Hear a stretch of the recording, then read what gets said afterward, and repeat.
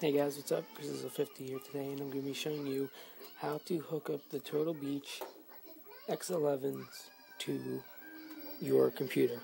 so first, what you're going to do is take your USB cord and, of course, plug it in.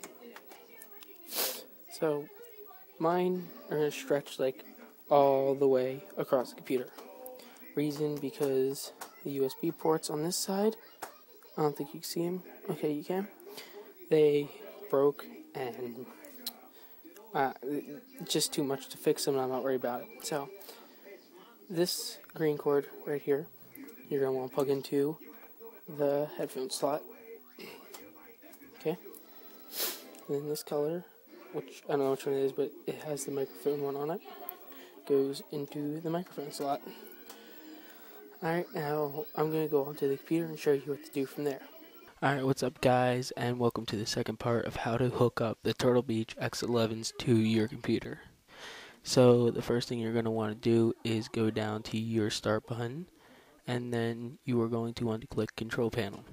Once in control panel, you're going to want to go up to hardware and sound, and when in hardware and sound, you're going to want to click manage audio devices. So the next thing you want to do is go to recordings and as you see here this microphone is disabled. That was the default for my laptop. It you'll probably have to do the same thing I guess if you're on a laptop. So then you're going to click this microphone here and then once you do that go to configure and go to set up microphone.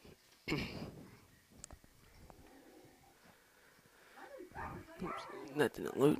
So let it load now. And the next thing you want to do is go to headset microphone and click that and click next. This is just the position of your mic, blah blah blah.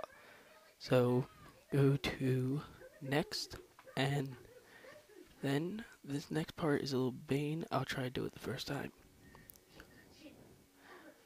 Peter dictates blah blah blah. Yeah, I already did this. Anyway, once that is done, your computer is recognized. So thank you, or your computer is recognized, yeah.